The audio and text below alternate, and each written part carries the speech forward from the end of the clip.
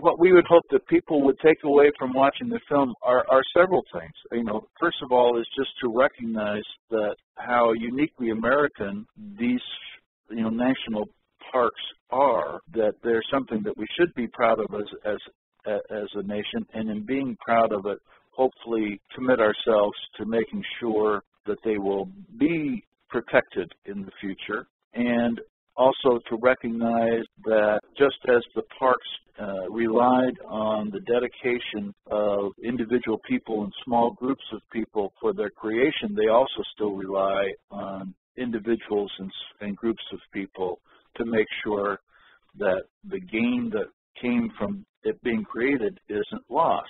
You know, once a place is ruined, it's ruined. Once a place is saved as a park, it's only saved for as long as it continues to be saved. So as our series also shows, there have been threats to parks, you know, off and on throughout the history of national parks. And so the, it's also required dedication of people to to, to fight those uh, those efforts.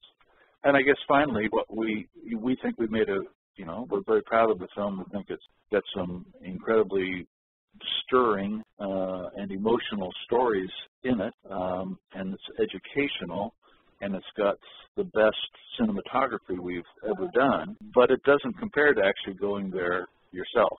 So you know, we hope that it is it serves as a an invitation to people to say, I want to go there now myself and see that place.